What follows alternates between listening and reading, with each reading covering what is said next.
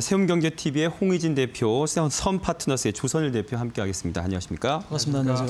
먼저 홍희진 대표의 오늘장 간판주, 어, 걸만한 종목, 또 선정 이유와 전략 들어보겠습니다. 네, 일신석제를 좀 봐야 될 것 같습니다. 오늘 경협주가 상당히 좀 돋보이는 하루가 아니었나라고 좀 보실 수가 있을 것 같은데 막판에 좀 흔들리는 모습들이 좀 발생을 하죠. 그러니까 지금 뭐 다들 뉴스는 뭐 많이들 보셨을 것 같습니다. 지금 사실상 남북 통신 연락선이 다시 좀 재개됐다. 이제 이 부분이 호질이 좀 작용을 어, 해주고 있는 모습이죠.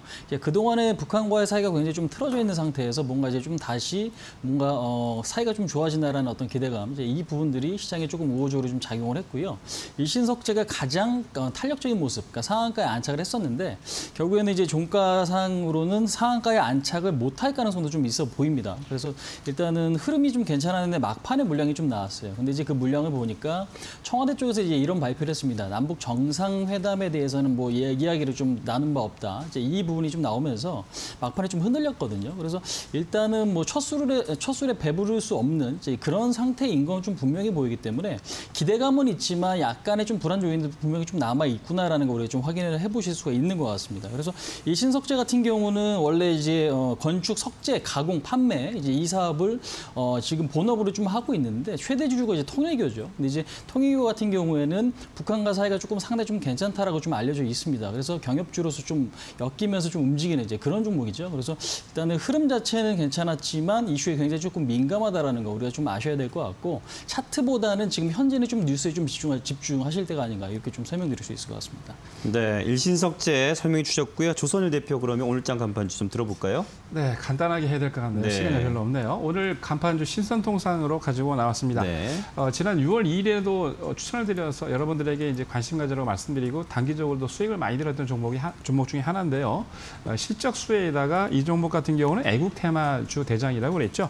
어, 의류 수출 기업으로 니트 어, 등을 의류를 아, 베트남이나 미얀마에서 생산을 해서 미국의 OEM으로 생산 수출하는 그런 기업입니다.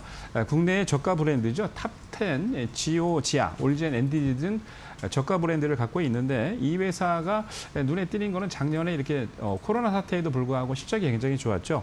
어, 전년 동기 대비 한 50% 증가한 196억 원의 실적을 당기 순이익을 기록할 정도로 작년에도 실적이 좋았는데 에, 특히 이렇게 좋았던 이유가 탑텐에서 내 있는 어, 탑텐몰이 가파르게 상승하고 있다고 합니다. 특히 네.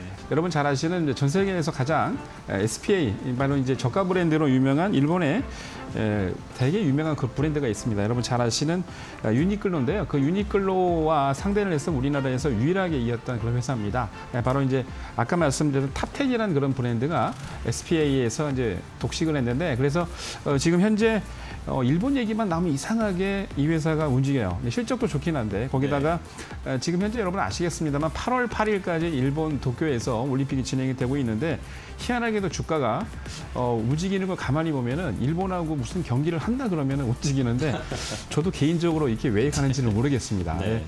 근데 하여튼 뭐 지난 그 6월 1일 날 추천을 드려서 단기적으로 목표가를 제가 너무 낮게 책정을 했는지 다 목표가를 도달하고 난 다음에 3천 원대 밑, 밑까지 밑으로 와서 떨어질까라고 했는데 3천 원을 지지하고 다시 상승을 하고 있는데 에, 지금 너무 올랐기 때문에 지금 이제 여러분들에게 매수하라는 얘기는 못 하겠고요. 네. 에, 기존에 이제 6월 1일 날 추천드려서 어, 갖고 계신 보유하신 분들만 조금 더 더 보셨으면 좋을 것 같습니다.